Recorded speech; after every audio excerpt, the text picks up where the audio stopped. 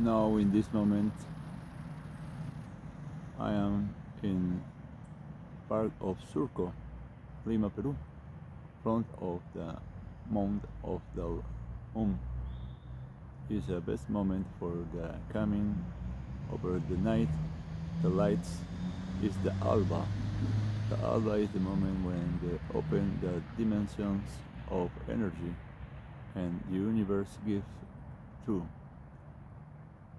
The natural systems give all his energy and given a good moment to take ideas, goods, no explain for your mind, but only for understand, not for take, because your mind is so little for all the ideas of the universe. Es el momento especial del alba y estamos percibiendo la energía del universo. Es el momento ideal para fortalecerte, purificarte y entender las ideas del universo únicamente para percibirlas, más no para tomarlas. Es para el entendimiento.